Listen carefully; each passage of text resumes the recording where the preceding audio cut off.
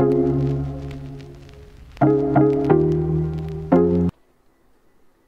everyone. In this video we are going to learn how to pick an image from the gallery and show it in our image view. Alright, in this tutorial we will learn how to pick image from external storage of our phone and ga or gallery and show it in image view in Android Studio. So open up Android Studio and create a new project with empty activity. Here um, you have to create this layout with an image view and then a button which has text pick an image.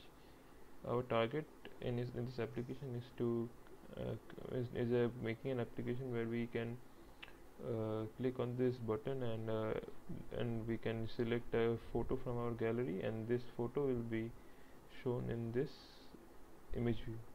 Okay.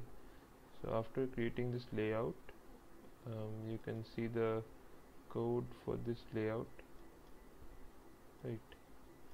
And then we have to come to ma main activity. First we uh, create a constant variable of with the name gallery request code in a companion object. And then and then uh, take the id of the button. We give the id of the button as a button pick take this id and give a on click listener. We create a and when we click on the button we actually create a very an intent. So we have to write a variable intent of type intent. We give the type of this intent as image and then uh, the action set the action of the intent as intended action uh, get content. Okay. Then then write start activity if needed and we write intent dot create chooser. We create a chooser where which have the title as pick an image and then we pass the request code gallery request code. We we override this fun on activity result and then we write if request code is equals to equals to gallery request code and request code equals uh, is result okay.